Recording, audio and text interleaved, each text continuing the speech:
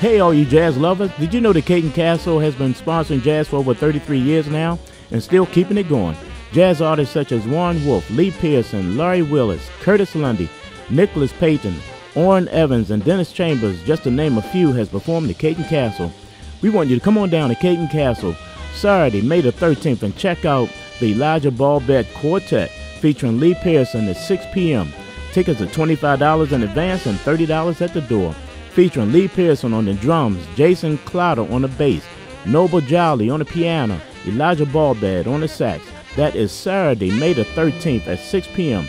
Purchase of four or more tickets will reserve a table. Doors open up at 5:30.